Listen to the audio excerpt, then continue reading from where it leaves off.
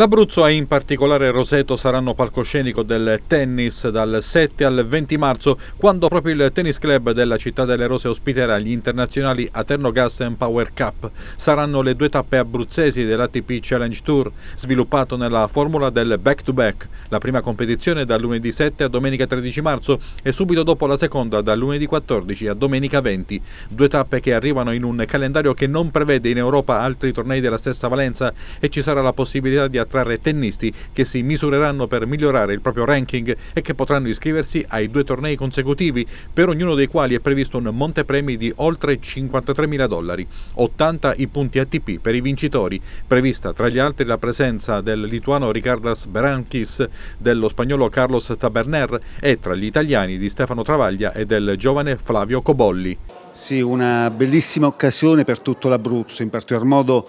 questo tipo di manifestazione vede Roseto protagonista, poi ci saranno nel calendario di la formula che abbiamo chiamato I Love Abruzzo un coinvolgimento anche del resto della regione, ma questi due ATP che sono due tornei internazionali gli unici in Europa sono una grande soddisfazione per la regione Abruzzo. Lo sport è quindi strumento non soltanto di mandare messaggi positivi ma di entrare nei territori, di capirne le vocazioni e le criticità e di dare una grandissima risposta alla fame di vita e quindi di sport che viene dai nostri territori, dal nostro Abruzzo, dal nostro Abruzzo migliore